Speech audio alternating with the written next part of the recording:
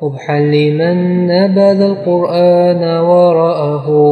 وإذا استدل يقول قال الأخطل والمؤمنون يرون حقا ربهم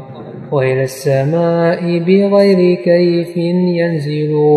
أقر بالميزان والحوض الذي أرجو بأني منه ريا أنهل. وكذا الصراط يمد فوق جهنم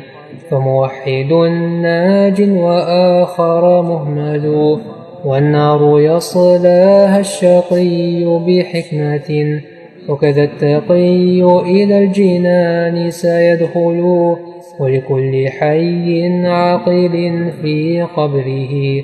عمل يقارنه هناك ويسأل هذا اعتقاد الشافعي ومالك وبحنيفة ثم أحمد ينقل فإن اتبعت سبيلهم فموفق